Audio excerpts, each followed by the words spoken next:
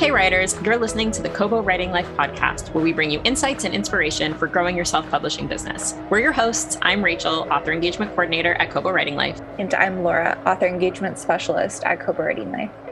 On this week's episode, we spoke to Chloe Liese. Chloe writes romances reflecting her belief that everyone deserves a love story. Her stories pack a punch of heat, heart, and humor, and often feature characters who are neurodivergent, just like herself. We talked to Chloe about her upcoming Kobo original, The Mistletoe Motive, incorporating music into her writing, including authentic representation of neurodivergent characters in her books, and how she started writing romance. We also talked to her a bit about why the tagline on her website is Everyone Deserves a Love Story. It is a great interview. We had a lot of fun talking to Chloe, and we hope you enjoy. All right, we are joined today by author Chloe Liese. Chloe, thank you so much for joining us. Thanks for having me. Would you mind starting us off by telling our listeners a little bit about yourself and the kind of books you write? Sure. So, as you said, my name's Chloe Liese. I write contemporary romances that are inclusive and aim to represent people who aren't often portrayed as the central figures of love stories. So far, I am self independently published, and my best known works are the Bergman Brothers series. It's actually a sibling series. I just love alliteration. So the Bergman Brothers are actually the Bergman siblings. And so far, there are four books out, and they are about a Swedish American family of siblings who live on the West Coast and each sort of have wild but also very normal, real people life adventures and finding love and acceptance and happily ever after. Um, my forthcoming books are going to be traditionally published, and they are a new series with Berkley, and they will be coming out. The first book is Two Wrongs Make a Right, and that will be in the fall of 2022. I think that's about it. and can you tell us a little bit about your publishing journey and how you started um, in indie publishing? Yeah, um, basically, I just wanted to write stories that included people that I didn't feel like were seen very often. So, people who are neurodiverse, people who have disabilities, and people who are just living like real lives and finding love. I thought, you know, I know romance is this place of escape and, and happiness and feel good feelings. But do we need to divorce ourselves so deeply from human realities for us to find like joy and encouragement and feel good feelings in romance. So I just started writing those stories, and um, the Bergman siblings were born, and that has led to incredible opportunities. The newest of which is, of course, the mistletoe motive coming from Kobo, which I'm very excited to say has some real authentic representation that's both personal to me and related to my friends. So the um, protagonist, the female protagonist, is neurodivergent like I am, and also on the sexual spectrum, she identifies as demisexual and the hero has type 1 diabetes. And I worked with a good friend who has that condition to um, bring that authentic experience to the story. So I just started writing these stories. The Bergmans took off. And from there, I received um, foreign rights interest for like translations. And I found a great agent, and she believed in this story that was just a passion project that is a Shakespeare retelling. And that's the one that's coming from Berkley. And we sold that. And then since then, these really fun opportunities like working with Kobo um, have come up. And that brings me to current day and where I am. That's really cool because there's always the like if you don't see yourself in a story, write it. And a lot of people will say that, but it I don't know, it takes a lot of courage and time and patience to actually do it yourself. So that's pretty incredible. Thank you. And I, I think it's some who's best known for saying it is Toni Morrison. And I'm going to paraphrase it, but it's something like if there's a book you want to read and it's not out there, you must be the one to write it. And interestingly enough, Toni Morrison's real first name is Chloe, which we love to see because I didn't know no that. one my I know no one my age or older is named Chloe. For the first mumble mumble years of my life, um, no one was named Chloe. And if I heard the name Chloe, I'd be like, yes. And then I was nannying one summer, and someone was like Chloe, and I was like, what? And they were like, rather egoic of you to think I was talking to you. And it was like suddenly there were three kids at the pool named Chloe. It's like, I'm sorry, it's just always been me. So anyway, yeah, that's a Toni Morrison quote. And that is absolutely a big part of what inspired me and it is vulnerable. And i've definitely learned a lot along the way. Like on my first book in the bergman series you know i've learned so much about how to like really work in people who've lived these experiences if they're not yours into your process. So i actually ended up like reworking that book this summer with an author friend who well i don't want to give a spoiler away but anyway she has um, the condition of one of my characters who I'd gotten some feedback had some inaccuracies. And I was like, well, let's go back and make this better. So, you know, I don't want to cast myself as some sort of paragon of this. It's definitely been a learning journey, and you do take risks when you write beyond your experience. And even when you work really hard with an authenticity reader and a primary resource who has lived the experience, it's not going to be everyone's, right? Like no one's lived experience of disability or grief or chronic illness or neurodivergence or mental health is going to be the same. So I guess what I just believe in is I try to write from my experience because it's healing for me and affirming for me. And I do think it encourages others who identify with even a little part of that. And I want to work to elevate voices who um, maybe don't want to write or who aren't writing yet. Um, and then to make sure I just do that to the best of my ability, authentic to their experience. So it's not without its challenges or anxieties and imperfections, but I wouldn't have it any other way. And like like my tagline is, you know, everyone deserves a love story. And I mean that for anyone who wants one, that, you know, we all deserve to get to see ourselves represented in these love stories, being desired for who we are, not like in spite of those things you know? So that's that's my passion and that's it is vulnerable and it is scary but it is also so deeply fulfilling. That risk is worth it to me.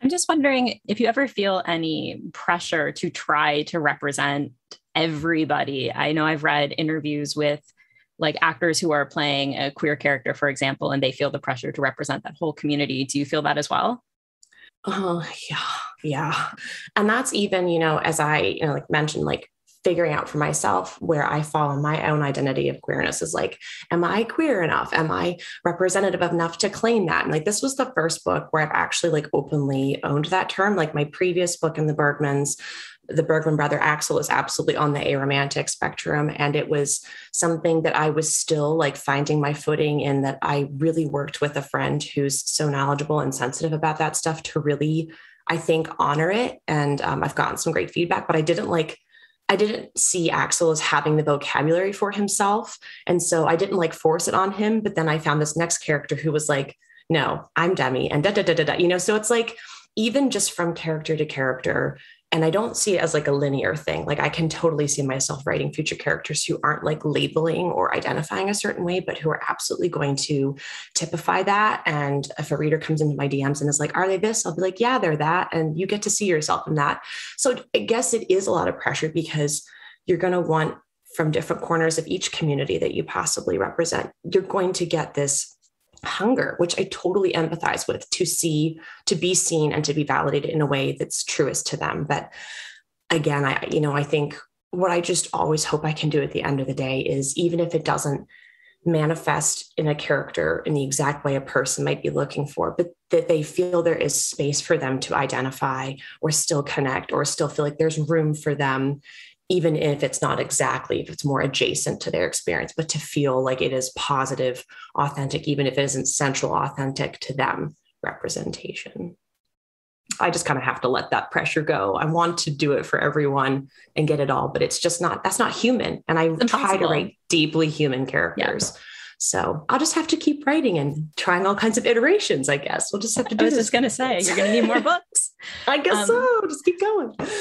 I do kind of want to get into your writing process because uh, not only do your books have a lot of representation in them, I find that your writing is really visual and really descriptive. Do you use visual, like mood boards, like Pinterest or anything to help you build these visuals in your books? My conceptualization process is visual. I picture my books. Like I, and I think that's so much why I need to write in first person it's literally like, you know, when you're watching a movie, the camera shoots from that character's perspective. You're seeing the world through their eyes. And so for me, I can't even begin to write until I'm picturing that world. Um, for instance, you know, in the mistletoe motive, this starts with Gabby walking down the street and the snow swirling around her and the music's flooding her ears and she's got a hot cocoa in her hands. And I just knew that. I felt that moment. I saw the world through her eyes. I felt the chilly air. I felt the hot cocoa in my hands, the comfort of a, your, your, your noise canceling headphones and the music just flooding your senses, you know. So for me, my writing, both in how I conceptualize it and how I want to draw my reader in, is highly visual. Um, I tend to do Pinterest boards a little bit like um, after the fact as sort of like a fun boost and gift to my readers, especially more to tide them over until I've released. Like, like you said, my writing's pretty visual. So I think people get a pretty clear sense of like who my people are and where they are. But it's a fun way to kind of give people tidbits and sort of morsels to hold on to while they wait it's interesting as I've you know talked with agents about film representation. They were like, "Your writing is so film oriented. Like we see it very much," and that that makes me happy because that's what I want. I want a reader to just feel immersed and like they can picture it and feel it and smell it and taste it and sense it because I don't know. I think that's a really rich, pleasurable reading experience. It's the kind of reading experience I like. So I aspire to it at least. Yeah, and you can definitely see that kind of like visualization, especially when you're reading uh, the mistletoe motive. Like you said, you can kind of see Gabby's whole worlds come to life in that intro scene. Do you want to talk to us a little bit about the mistletoe motive that you did with Kobo Originals? Yeah, yeah. So this is a holiday short short novel, long novella. It started off, I was like, no, Michelle, I can't write a full length novel. She's like, okay, Chloe, you don't have to write a full length novel. And then I wrote it and we chit chatted about a couple plot points. And then 50,000 words later, it's like a short novel. so it's, it's actually nice though, because I feel often when I read novellas, like it's kind of missing the, that that bit to really sink my teeth into. And so Michelle was like, just write as much as you want. It's fine. I was like, oh, okay, great. So I really feel like I got to dig into a couple of moments that um, give readers just some time to soak in really this dynamic between these two. So, in a nutshell, I build this as like for people who love very sort of festive, atmospheric workplace romances. This is like the hating game meets you've got mail. So we've got two people, Jonathan Frost and Gabriella Di Natale, who are co-managers of the sort of last standing iconic city um, bookstore, Bailey's Bookshop, which I had a fun little a little homage to It's a Wonderful Life. So it's Bailey's Bookshop, and their rival is the big chain bookstore, Potter's Pages. I just had to do it because that movie is important to me. I love it. But anyway, so these two work together. And like any good enemies situation, there's significant misunderstandings underpinning their rampant dislike of each other on top of deeply different personalities. So she's all things festive. She's all about the nostalgia and heart of the place. And he's just one of those guys who comes in and like tightens up everything, every spare, anything he tightens it, makes it better, makes it efficient. So we meet them when they are just really at their breaking point because they get the news that the bookshop, which Jonathan isn't surprised about because he knows the finances inside and out, is like about to fold and something's got to happen. So this comes to a head where they basically realize they're not going to make it through to the new year. One of them's going to not be able to be on the payroll anymore. So they're like, Gabby throws down the gauntlet and says, Whoever sells more books this month gets to stay. And the other person walks away. We've both brought things to the place. We'll both benefit from it. We got to do something. And you start to get a sense that Jonathan's like, fine, but maybe something else is brewing. And so that's where the story kicks off. And I'm not going to tell you anymore because you got to read it and it's fun. But there is an epistolary aspect. Gabby has an online pen pal whom she has her friends and roommates have dubbed Mr. Reddit because she met him on a bookish Reddit thread and they chat anonymously and they're sort of each other's safe place. And he becomes more important throughout the story. It's a bit of a mystery until he's not. Yeah. It's a and happily ever after, read. of course. Good, thank you. Very fun read. Yes. And it's very festive, which kind of leads to my next question because I'm like Gabby, like I am a very festive person, like Bing Crosby, White Christmas, November 1st. That's me. Hit me. So yeah. I'm wondering, how did you stay in the Christmas spirit while writing this? Because as we all know, publishing doesn't work instantaneously. You like, were no. you writing a Christmas story in the summer? I was writing it at the beginning of fall. So this was a pretty okay. quick turnaround project. But I am not one of those people who's like November. I wait until December and then it's like a full tilt boogie every day of December. Light the candles, crank up the music, throw the glitter everywhere and the tinsel. But until December 1st, I am bah humbug. So, really, how I got into this was, and this is something I do for all my books, is I make a playlist. And it usually starts with like a bunch of songs that just vibe with what I'm writing. And then I'll start to be listening and I'll think, oh, that is the perfect mood for this chapter. That encapsulates the tone, the emotions. Uh, it has a line like um, Gabby teases Jonathan.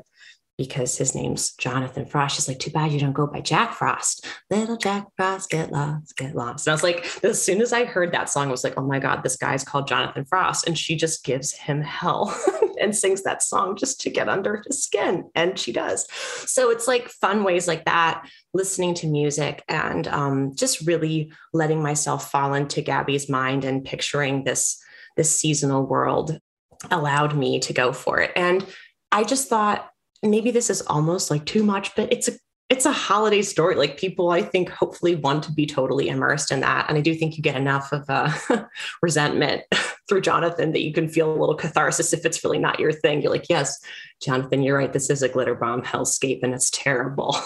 so he's there representing for you folks who find it a little much. It's not a yeah. little much. She's right. And she should say it. He is kind of like that, like Scrooge character. Like he really is like the grumpy to her sunshine in that way. It was a really good balance. Thank you. I think Grumpy Sunshine is just one of those tropes that is the gift that keeps on giving, to quote another iconic Christmas movie all year long, Clark. It is because there's such a delicious way that you can see the little moments where, like, when the grump perks up for the sunshine or when the sunshine hits like a roadblock and just crumbles. And I think it shows you how each of us can have these more extreme tendencies to perform and behave around others. And we sort of have our armor, whether it is chilliness in the case of Jonathan Frost, or whether it is, okay, this is my happy place. This always has to be great in the way that Gabby just really throws herself into the bookstore. But then you see, you know, we all have our tender spots and our sensitivities. And so when the grump and sunshine shift a little bit for each other, I think it's always so like sweet and poignant. So, and I mean, it's a Christmas story to write a Scrooge. It's just too tempting, you know, the metaphors abound. I'm just going to cut in ahead of Laura's next question and ask Do you have a favorite portrayal of Ebenezer Scrooge? Caine and the Muppets. Thank you. That's correct. Okay, continue. Yeah, which is why I loved working in that line when Gabby's so tired of the conversation and they have the Muppets in the background. She's like, Are we ever going to see a ghost here scare the shit out of Michael Caine? Because it's just like he's so over the top in it. But like you think about the commitment of acting to working with a bunch of puppets and He's like amazing. That is a straight performance. Like that man does not oh, crack. It's so good. There's no there's no camp, there's no break. No, it is commitment. That is that like is. method acting right there. I love it. that was a very Rachel moment to bring up Ebenezer Scrooge. It's great. Um, one of my favorite uh, scenes in the mistletoe motive is the hockey scene. Um, oh, yeah. And you've written sports romance in the past. So, is there something about sports in particular that you like writing about? And are you a hockey fan? I do like hockey. I grew up in a suburb of the city where hockey is like kind of the bigger sport, like hockey and soccer were sort of the two. And there's just something that taps into like the very primal part of my lizard brain that just loves seeing men run around and smash into each other. Like, I think, or women, just people. It's just like one of those things. It's just like, okay, we're animals. And I think what I wanted to show in that hockey scene is, you know, Jonathan is so far a bit of a mystery. We don't know much about his personal life. We just know that he comes in and antagonizes Gabby and, you know, just fights with her all day long and then goes home and presumably just is grumpy. But when we see him, you know, playing hockey and we see his intensity and then you see just i think the first time we were seeing them outside of their work environment and the little ways that he starts to slip and crack and you can see his like pleasure that she was there and that when she compliments him that you know he blushes a little bit. It's just like oh. So i think sports can be a really cool place to see another dimension of a person. Um, i think you know when people are under pressure uh, of you know when they're competing when they have goals just seeing kind of their class and character is very telling you know. I so i play soccer. I don't play hockey but i play soccer and i definitely i always felt like when i was on the field I knew I was a little bit different from how I was, and I'm not, but I wanted the core of my morals and my ethic to be clear. I wanted to walk away from the person being nasty. If I knock someone over, I wanted to help them up. So I think showing characters playing sports sort of gives us another insight into who they are. And of course, and it's another organic way that they can have a connection, Jonathan and Gabby, because her dad's a, an NHL Hall of Famer and it's like her life and world. So it's just a fun little way that they connect and we see how much they actually don't really share with each other and how they're starting to um, as the book's progressing. And it's just like so iconic. It's like so rom com thing. Like she goes to the hockey game and he scores and he looks up in the stands. It's like I just I couldn't pass it up when it came into my brain. I'm also I'm a hockey fan as well. So is Laura. So I also really enjoyed that scene. I did kind of want to go back to what you were talking about with your playlists. Yeah. Because in Mistletoe Motive, every chapter has a recommended Christmas carol. And I'm kind of curious how that came about. Did you choose the song before you wrote the chapter, or was it going back and deciding, oh, you know what would work here is Ella Fitzgerald? It's back and forth. Sometimes one, sometimes the other. Like um that the one song that's Andrew Bird's cover of that classic Italian carol, Mille in Cherubini Coro it's like Luciano Pavarotti's famous for singing it. And it's so like romantic and aching and sweet. But it was just this like whistled, plucking acoustic version of this song. And as soon as I heard it, as I was just sort of flitting through covers and Spotify playlists, you know, for holiday covers, I was like, that's when they kiss. They absolutely kiss to this song. I see snow falling. I see this like that quiet richness of silence when it snows and how it's like this sort of full weighted but weightless moment too when you finally like fall into someone and, and let go of those inhibitions and kiss. So that was an example where i was like heard the song then knew absolutely this is this moment. And i'd known like the beats. I had it plotted out roughly when they were going to kiss but i didn't have it all pictured until i heard that song. So that song was very evocative for me. But then for instance you know like the first chapter I didn't know it was going to be let it snow, let it snow until I'd like written that. Like I was okay, Gabby's walking, she's listening to the, oh, and it's Ella. So it's just like that was one of those times where as I wrote, it sort of led me to that song, and then I put it there. So it um, it's definitely integral. And like I said, I kind of just get the songs running around and I'll listen to them while I'm getting other tasks done. And I'll see if something sort of pops up and then I start to arrange them and then I start to cut out the ones I end up not using. And I have a giant playlist of songs I love, but didn't have chapters for them yet. So that's sort of how that goes do you always write to music or using music as kind of inspiration? Yeah, I'm a musical person. I always have been. I love to sing. I studied voice and piano for quite a while. And um, thought about like doing something with it, but I just don't like performing and like being around a bunch of people. So I was like, well, there goes that. So I just do it for pleasure. But music is always one of those things where um, sometimes you know part of me with neurodivergence is i'm a, a thinker i just think through everything and um, emotional processing is sometimes a bit delayed for me or a bit like mm, hard to pin down like what am i feeling? I don't know. Let's sit down at the piano. And then it's like i'm smiling my face off playing a happy song or i'm sitting there like tears sliding down my cheeks. It's like oh that's what i needed to play. That's what i'm feeling. So for me music is um, a powerful vehicle for human emotion. And I think just in general, for me, neurodivergence is so much about how aware I am of sounds and textures and light and my environment. And so music is to me, that's like one of the gifts of of being on the autism spectrum is like, I think maybe more deeply aware than some of my peers. I hear a sound or I notice the leaves and the light cutting through them in a way that my friends are just like plowing on to the next thing. I'm like, no, but look, isn't it grabbing you by the collar? It's grabbing me. Um, so yeah, music is just always running around in my head and just deeply, deeply engaged with what I write. I will say though, there are times where I'm like, stop and I hit the space bar on like the Spotify playlist. I'm like, I need silence while I work through this. And that's more when I'm in like the wordsmithing, like, okay, let's get this tight. Let's get this progression right. Or do I have too many dialogue tags? You know, that's when I'm sort of in analytical mode. I tend to need the music off. But when I'm first conceptualizing and then definitely when I'm like tweaking and reading all the way through it, sort of those last few times, it's like, I put it on like the loop option that you have on Spotify. So the whole chapter just goes whoop, whoop, whoop, and just plays the whole time through. So because I like to make sure it works for the whole chapter. So what you're saying is your Spotify wrapped this year is going to be a lot of Christmas music. yes, yes, yes. And Spotify, if you're listening, I am open for sponsorships. Just kidding. Um, Just kidding. I, I do have to ask, do you have a favorite Christmas carol? I would say I probably have a most nostalgic Christmas carol, and that is um, Nat King Cole singing the Christmas song. That's Classic. always, yeah. It's just there's something so pure and like raw at the same time about the way he sings that song. Like there's such an aching goodness to it. And it's always the song that my family and I would first play when we start decorating the tree. And that's something I started doing with my kids. And it's just um it's just one of those things that just hits that nostalgia tuning work and just resonates every time I hear it. So I thought I would work it into um, this book because I love it so much. And it just didn't end up landing. So as I said earlier, for another project. It's the next book. I'll save it. Can you talk to us a little bit about how you use social media and TikTok for marketing? Because we noticed you you're on TikTok pretty frequently. Okay, so this is wild because because here's the thing when you're an indie, you really just people don't look at your stuff and go, "Oh, you have a publisher backing you. I will take a chance on you."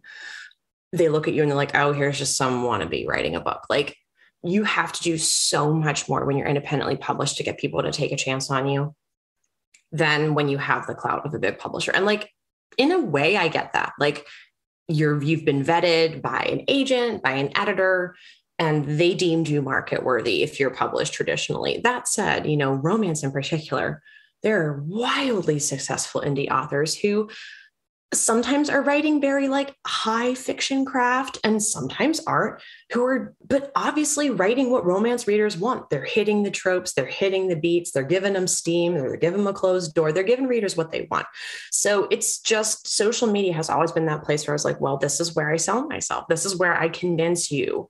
So for me instagram was like a place where i could really curate visually and show you my books convey my message and my ethic, show them with other books that I felt were comps, and just honestly a great place to meet people who love books. It was, I'm not a huge in person socializer. Um, I just tend to find it a bit difficult and overwhelming. I have a small social circle, and that works great for me. So, lovely enough, it was just a Bookstagram, know, the bookish corner of Instagram became this place where I could just chat with people. I could like have the closest to like casual relationships and conversation that I'm capable of. So that's been a great place where I've had a lot of growth and just finding people and sharing about my books.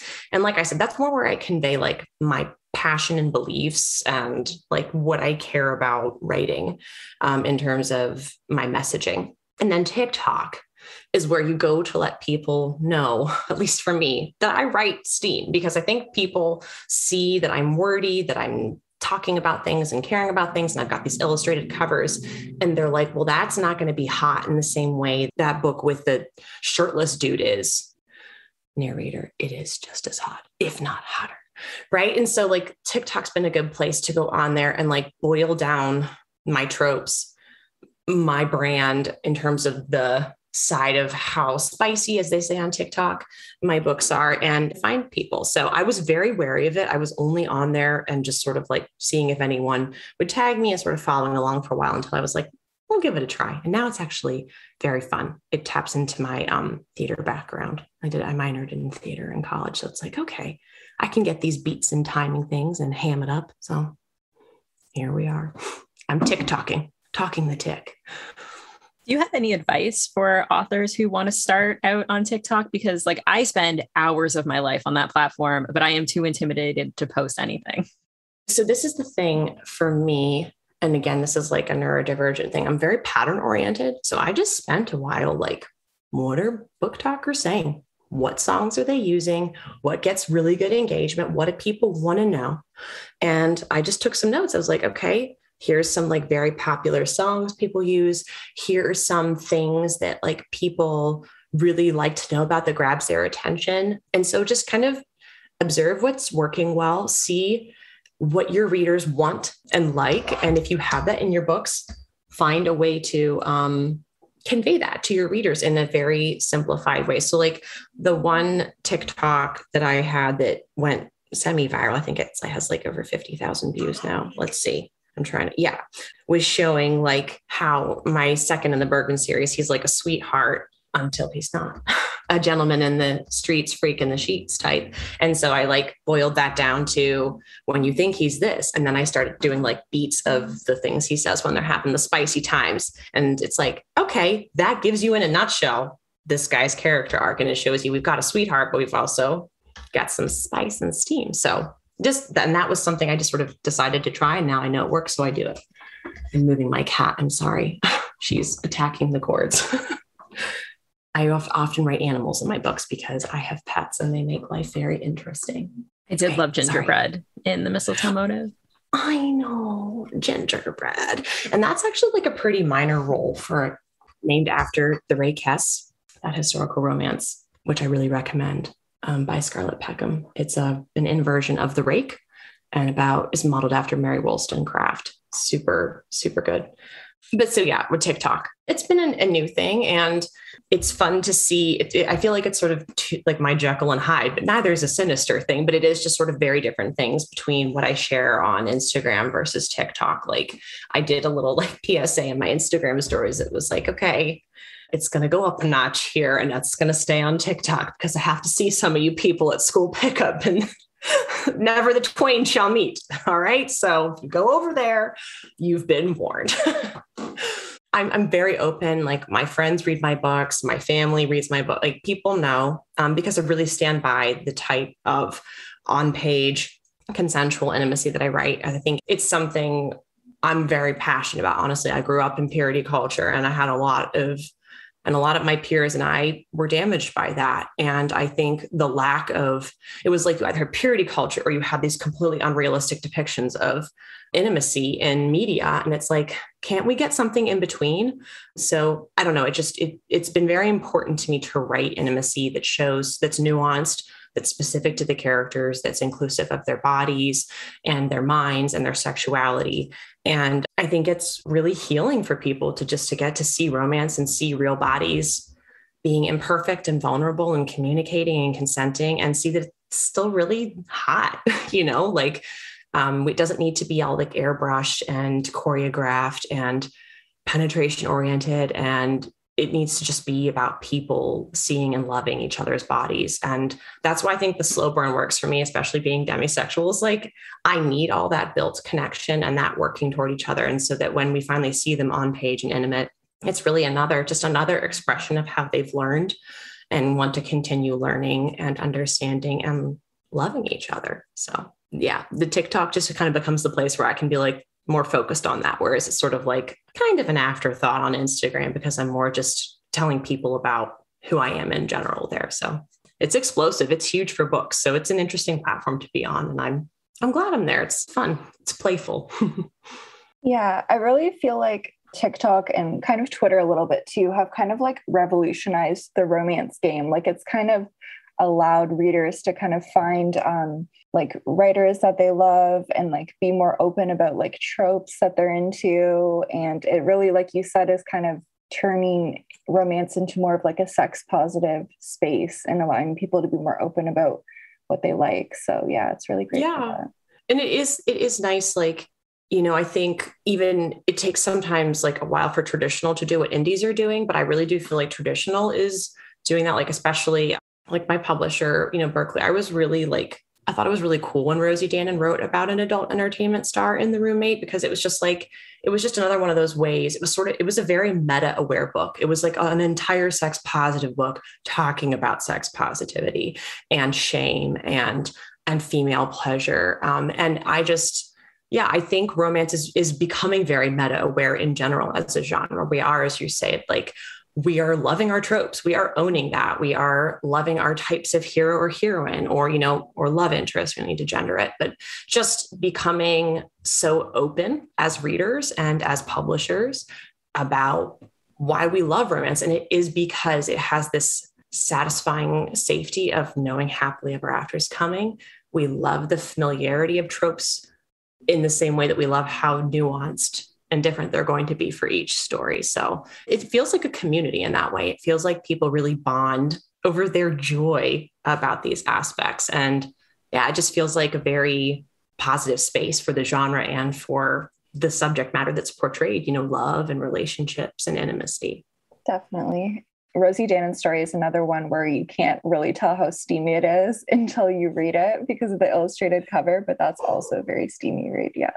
yeah. But like in a in a way that I it was more subtle than I thought it was going to be. I was like, okay. You know, it's a bit of a you don't know he's going to be an adult entertainer. It's like not in the blurb, right?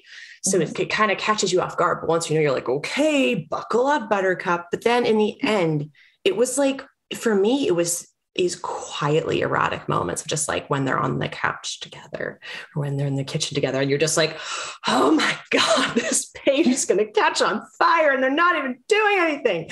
So to me that was like that was really powerful and i do think there's a real phenomenon the earliest super hot book i read with an illustrated cover and was incidentally the book that led me to know i was autistic the kiss quotient by Helen Hoang, who has been such a kind and wonderful uh, friend to me in my publishing process.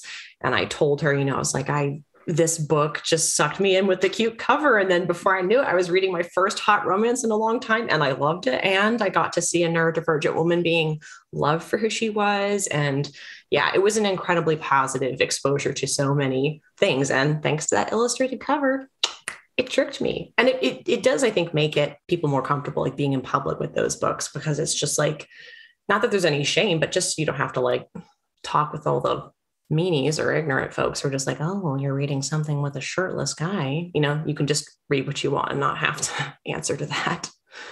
And you kind of touch on that in a section of your website as well, where you write posts where, and I'm going to kind of directly quote you to you right now, um, but where you Go tackle ahead. misogynistic and patriarchal origin, origins of people's attitudes towards the romance genre. Can you kind of speak a little bit more on that and kind of what people can expect if they go deeper into these posts? Because they're quite good. Uh, yeah. So I don't post as much about them as often. I did it more when I was first just getting my voice out there and really trying to convey who I was and what I cared about. But in in those posts, and it is a section on my website, which is basically, I think, titled like "Why I Write Romance," talking a lot about how patriarchy has, in general, just always tried to minimize and marginalize and diminish what women accomplish, and especially if it's by women and for women. And while I will absolutely argue that you know the romance genre is written by people of all gender identities, for all people of all gender identities. Of course, predominantly historically, it has been written by women and for women. And of course, it's a wildly lucrative genre too. But, you know, patriarchy says, that's not literature, you know, things of the heart and the home, which is, you know, very much mindset that was born out of, um, and this is my nerd time to come out. I studied Victorian literature in the 20 in the 19th century in college. This is like my era. And you learn so much about how, as industrialization boomed and sort of modern society was born really under the reign of Queen Victoria and all of the vast, Brit- vast British Empire and, and all of that huge influence around the world, often to the damage of, of course, native cultures and such. We learned these very like repressed, shameful ideas about sexuality and gender identity. Women belonged at home, men belonged out there. And there were these spheres the domestic and the public. And so much of what about romance genre that still gets shamed is because we say it just belongs in that kind of secret, sordid, womanly place and it doesn't belong out in the light. A f- funny, totally random but true thing piano, you know, piano covers, right? Like those like cloths you drape over pianos. The Victorians literally came up with those because they felt that a piano's legs were too sensual like a woman's ankle could not be shown.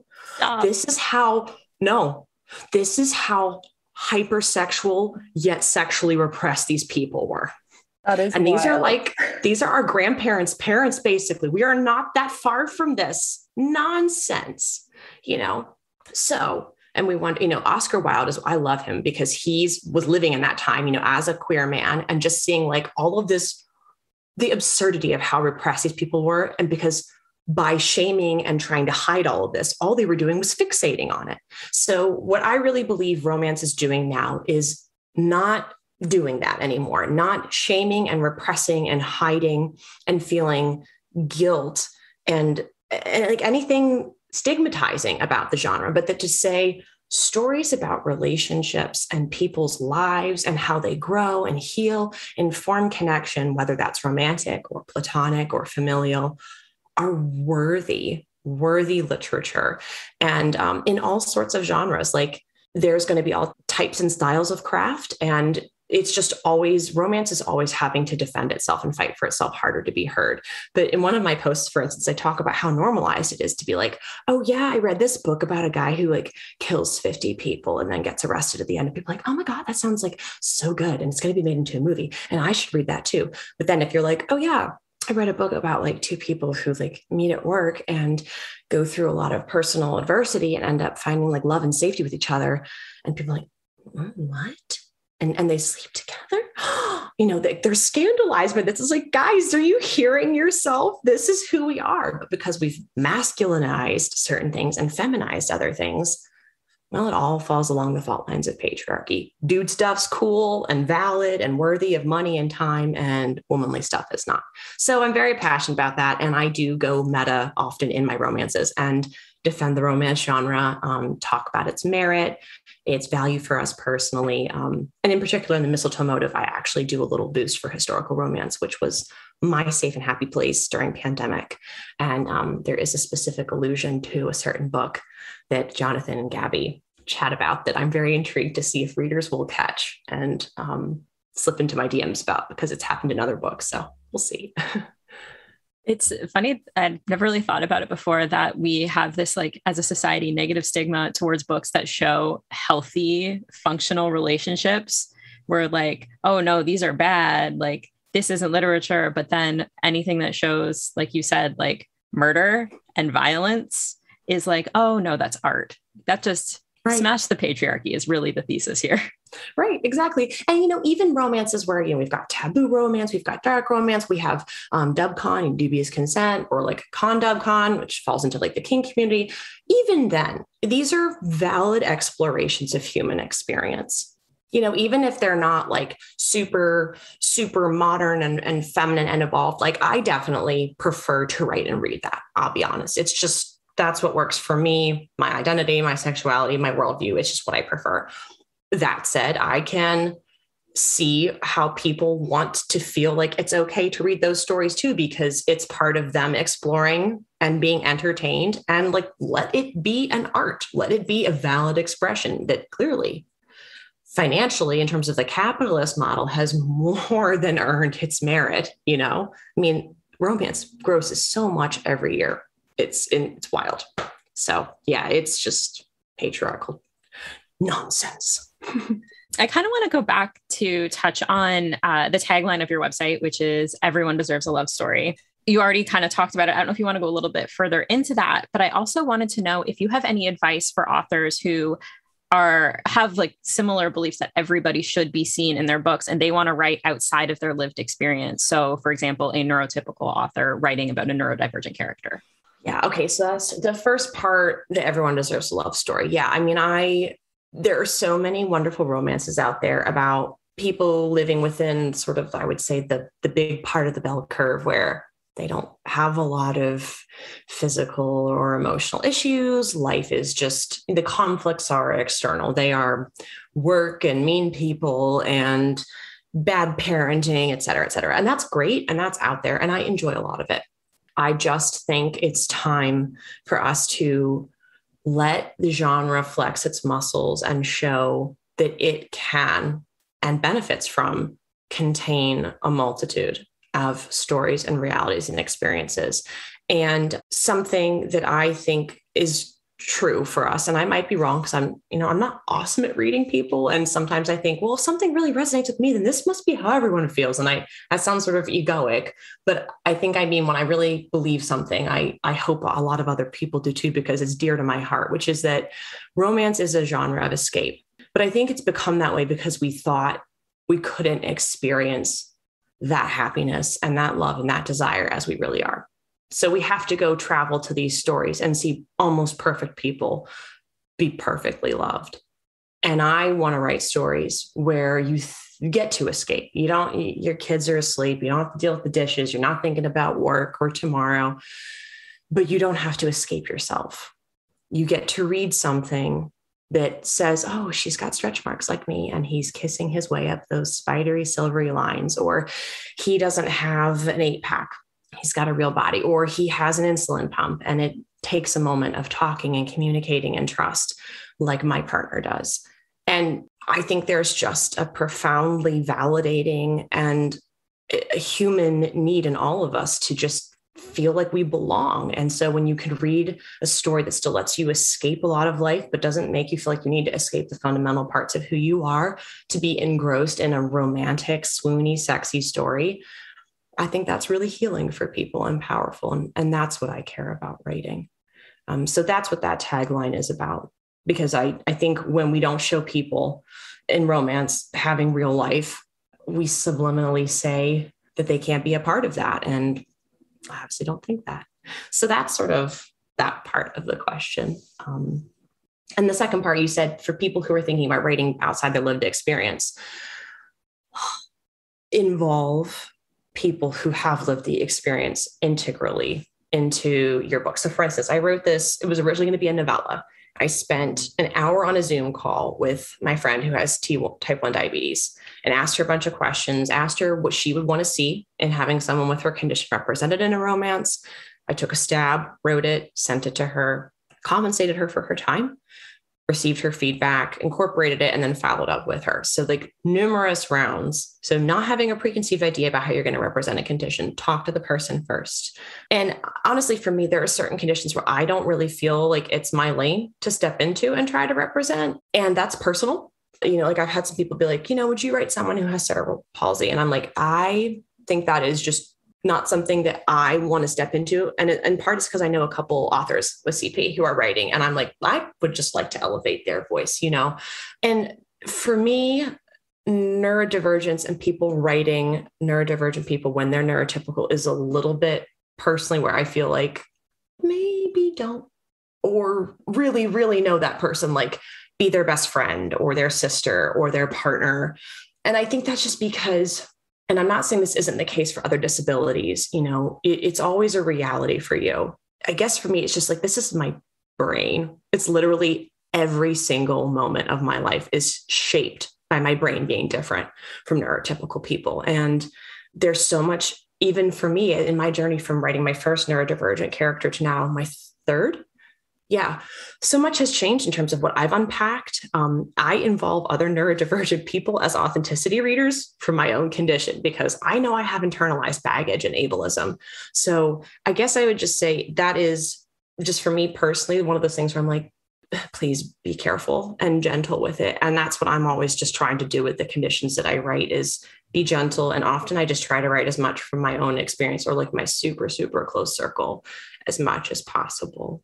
I heard in another interview that you use sensitivity readers for your books. So, can you explain a little bit about authors using sensitivity readers and how you use them? Yeah. So I tend to call them authenticity readers now more because sensitivity is, I think I like ask my authenticity readers to also be sensitivity readers, but I am sort of back to earlier in our conversation talking about how you can't ever write to represent everyone's experience. Um, i want to focus mostly on people who are going to be very very honest if they see anything they think is problematic in my writing just in general but that more focus on the quality of representation of anything i'm writing about that is whether mine or not. And so i just i think it's all about accountability and opening yourself up to critique. And you know my background is in literary criticism and in like just studying literature itself. So my entire introduction to like the novel experience whether writing or reading it is to have a critical mind and to see that as a good thing as a way that you get to the heart of the truth of a story or a message of a story or your intent as its creator. Um, so i'm very pro critique and i think i would just hope anybody who's attempting to write these nuanced experiences is you have to put your ego aside. Like you just, you have, because this is about showing care for other people's realities that you might just might not understand parts of. So just being very, very open to that is super important. And um, I like love my authenticity readers. I feel like a bond to them after I finish a project because they've given me these very vulnerable, real, raw parts of themselves and their feedback. And and if I interview them before I start. So I think they're absolutely imperative um, anytime you can as an author involving them in. And not everybody has a lot of money, but do a skill swap. Like if they want to be a writer, offer them a full manuscript critique or offer to blurb them when they publish their first book and give them like a little encouragement. You know, there are so many ways you can do it. I understand everybody has hundreds and hundreds of dollars, but um, try to find a way. Or if you don't have the money yet, don't do it yet. I don't know. Like their time is worth payment and it's just invaluable to good to good storytelling i think how do you find your authenticity readers Bookstagram a lot. And that's the really cool thing. I've found such an amazing community. And this is the thing that I talked a little bit about, um, like as I mentioned with my first Bergman book, which I did these revisions on, you know, and the sort of poignancy of that arc and that cycle of that book was that that book got me to a place that my other books hadn't. And even though it had its faults because of things I didn't know and I didn't understand yet, it introduced me to so many people in the disabled community and the chronically ill community and the neurodivergent community who are also romance readers and lovers. And I do feel like that's so important to try to find people who are lovers of your genre and see how that intersection of representation and love storytelling goes together. So that book, even though I made some mistakes, it gave me people who could give me the information to make it better. And it has continued to feed that cycle. So yeah, it's just been a Bookstagram has been an incredible place, and my personal life too. Like um, my most recent Bergman book, which came out in September, "With You Forever," the heroine has um, ulcerative colitis, which my best friend, who also does one of my best friends, who also does my covers, has. I have a bunch of GI problems too. I had celiac disease undiagnosed for a very long time, which really messed me up. So we've like bonded over all of that fun stuff. And I was like, Jenny, what if Rooney has ulcerative colitis? She was like, yes we need a lady with bathroom problems in a romance. I was like, yeah, we do. And then that was born. So it's like involving the people in your life, in your reality, and in your passions has led to sort of these organic moments of like, okay, it is time to do this. I love that. Stomach problem representation. I'm here for it. Yeah time has just flown by this past hour. So, if it's okay with you, we'd like to wrap up with just a couple rapid fire book slash holiday related questions. All right. First up, what is your favorite romance trope, either to write or read? Oh, I know that's a hard one. or uh, maybe, maybe like your uh, top three. You got okay, thank you. Okay, okay. Laura's much nicer than I am. she is. Yeah, that was mean. That was not very festive or generous of spirit. Okay. Grumpy Sunshine, enemies to lovers, fake relationship. Mm. Yeah. And you put two of those into uh, the mistletoe motive. So that's yeah. a preview for you readers. It's out yes. December 1st. Pre order on Kobo now. That's right. Can you also tell us your favorite holiday tradition? Um, around the piano singing songs. Um, oh, that's a good one. Yeah. I love doing that. My, My family does really that too. It. Yeah, it's a good time. And it helps everyone's like had a couple eggnog. So everyone's just like doesn't care how they sound and they're like right in your ear because they're trying to see the music. It's I usually need to sleep after it, but it's so fun. and my last question, other than the mistletoe motive, do you have a holiday romance that you would recommend? Yes. Wrapped Up in You, which was last year's Kobo original by Talia Hibbert, was an absolute delight. It is, if you love her stuff, it is just quintessential Talia and it's an absolute hug. And I'm trying to think, oh, I really loved Christina Lauren's In a Holidaze. It's like a groundhog meets like the family stone. Oh no, I fell in love with the wrong brother trope, which I adore. It is lower steam, more like their newer stuff. Um, so for readers who prefer that, that'll be a good fit for you. And I just thought it had that sort of aching sweetness and the awareness of how, you know, in the holidays, you carry the past years with you. This always kicks it up. So there was a very self aware aspect to that story. And I thought it was really, really sweet. And before we let you go, where can listeners find you online? Okay, well, a good sort of hub is my website, which is Chloe Liese, L I E S E dot com. There you will find links to my Instagram, Twitter, and TikTok, all of which are at Chloe underscore Liese. I'm also on Facebook. I have a reader group. So if you're a fan, you can find that link through my Instagram bio. Um, BookBub, you know, Goodreads, the typical places, but my website will be a good place to find sort of everything you need. Awesome. We will include links to all of that in our show notes. Thank you so much for doing this, Chloe. This was a blast. Yeah, thank, thank you so much for having awesome. me. Thank you for listening to the Kobo Writing Life podcast. If you are interested in picking up Chloe's books, including The Mistletoe Motive, we will include links in our show notes. If you are enjoying this podcast, please be sure to rate, review, and subscribe. And if you're looking for more tips on growing your self publishing business, you can find us at KoboWritingLife.com. And be sure you are following us on socials. We are at Kobo Writing Life on Facebook and Twitter, and at Kobo.writing.life on Instagram. This episode was produced by Rachel Wharton and Laura Granger. Editing is provided by Kelly Robotham. Our theme music is composed by Tearjerker. And thanks to Chloe Liese for being a guest. If you're ready to start your publishing journey, sign up today at kobo.com slash writing life. Until next time, happy writing!